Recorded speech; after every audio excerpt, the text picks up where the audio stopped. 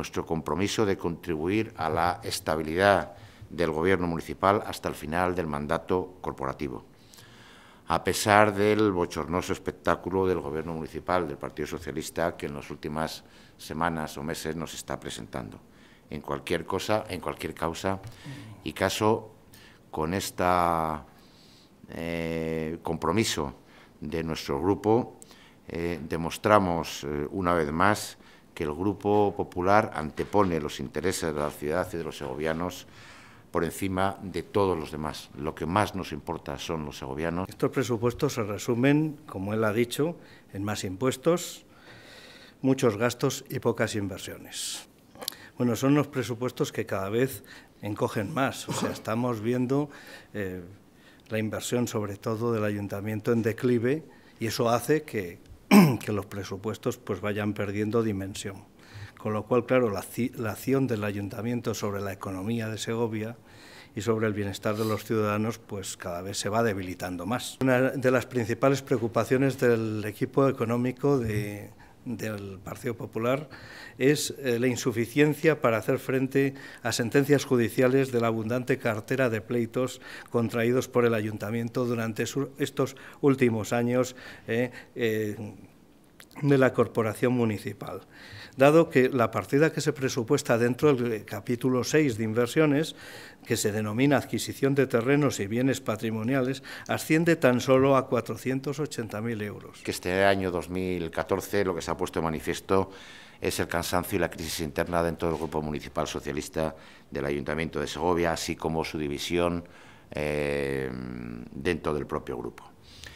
Eh, como primer ítem de este análisis, eh, evidentemente, y seguido un poco cronológicamente, está la dimisión del anterior alcalde Pedro Aragüetes, y como, él había dicho, le sobraba esta legislatura, dijo que lo, normal es que fueran ocho años y al final esta legislatura eh, o este mandato, eh, como se ha visto, le ha sobrado.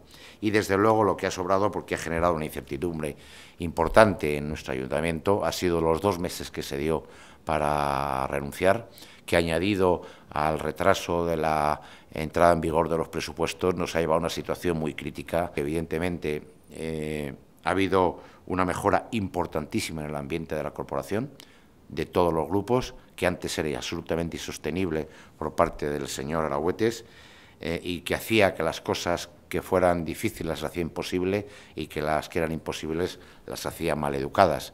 Y en este sentido, bueno, ha cambiado eh, el ambiente eh, dentro de la propia corporación. Está la falta de control y dirección que ejerce sobre su equipo de gobierno.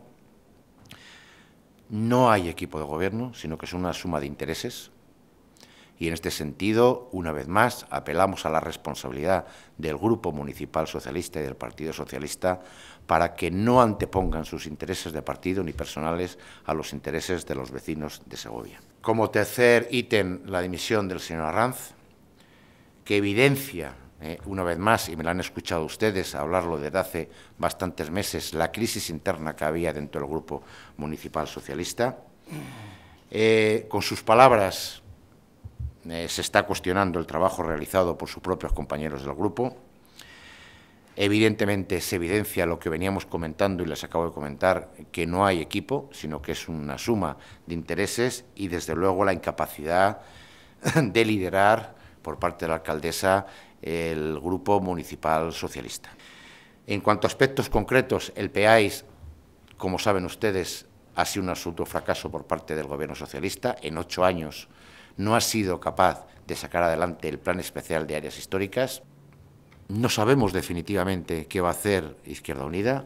Digo definitivamente, porque no es la vez que asistimos a unas palabras eh, del portavoz eh, a los medios de comunicación y luego eh, una intención o un voto distinto en el Pleno. Y desde luego tampoco sabemos la situación de un concejal socialista, que el señor Arranz, que está en la situación que está.